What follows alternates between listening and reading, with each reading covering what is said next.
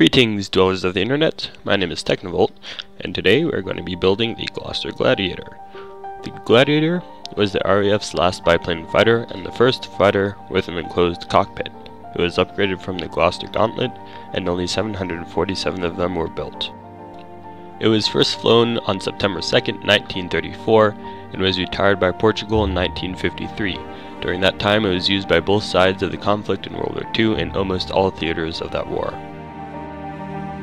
It was used by the RAF in France, Norway, Greece, the defense of Malta, and briefly in the Anglo-Iraqi War, where the Iraqis were also armed with gladiators.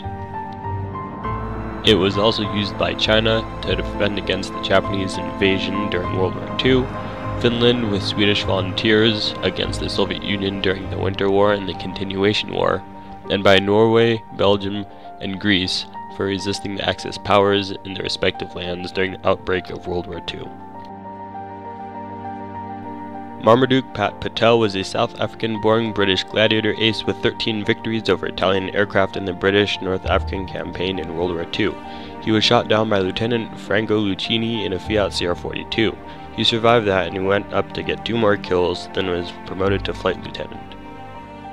The Gladiator had a variant called the Sea Gladiator, which had a strengthened frame, catapult points, an underbelly fairing for a lifeboat dinghy, and an arrestor hook for carrier operations. However, only 98 of these were either built or converted.